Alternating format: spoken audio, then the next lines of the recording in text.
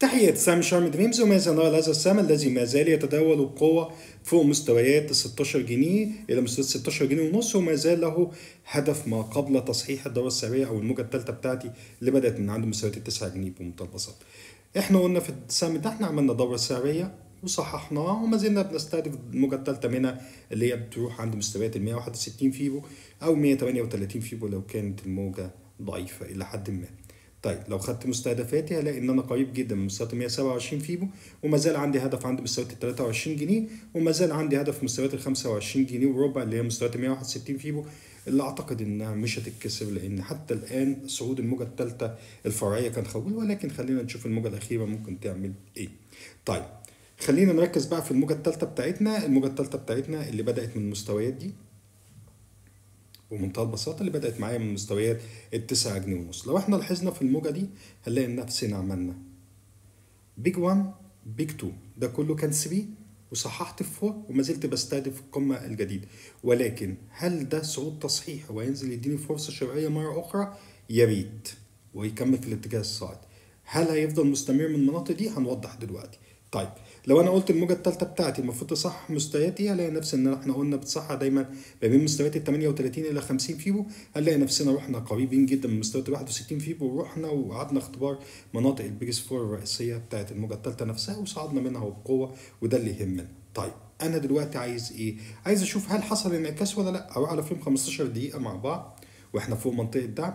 لو لاحظنا هنلاقي إن عندنا صوت خماسي ولكن خجول شوية. لو إحنا عايزين عملنا بيك 1 بيك 2 ده كله كان 3 4 5 أعتقد. وتصحيح على شكل خماسي وبعد كده لا أعتقد.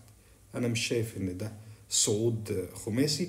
ولكن خلينا نمشي مع السهم ده واحدة واحدة ونرسم نمشي مع ترند لو أنا كسرت الترند أعتقد هيكون النظرة سلبية لكن طول ما أنا محافظ على زخم المناطق دي أعتقد هيكون النظرة ايجابية طيب أول منطقة دعم أنا ممكن لو لقيت فيها ردة فعل قوية هي المناطق دي اللي هو القاع اللي يتشكل من الموجة الأخيرة دي.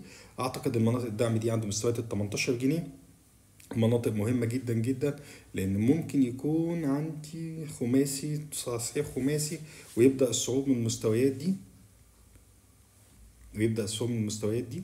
أعتقد حتى الآن مفيش نظرة واضحة ولكن أعتقد الصبر أفضل مع السهم ده لحد ما نشوف لأن حتى الآن الواضح إن إحنا بنعمل قناة سعرية صاعدة حتى لو بصينا ده قناة سعرية صاعدة يعني ما فيش أي حاجة. ممكن يكون قناة سعريه صاعدة ما قبل تسجيل قاع جديد وببساطة ممكن آخد نفس طول القاع نفس طول الضلع ده من المستويات دي أو أقل يعني ممكن يجي بزخم أقل ولا نفسي قريب جدا من مستويات ال 15 جنيه ونص. حتى الآن لا تتأكد النظرة وما زلنا فوق دعم مستويات ال 18 جنيه اللي ممكن نبص عليها قريبا اللي عند مستويات 18 جنيه. وربع نبص عليها بكرة وما زال حتى السهم حتى الآن السهم غير واضح.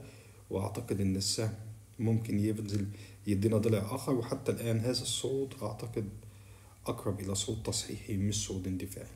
يعني ممكن يكون ده شكل A B C.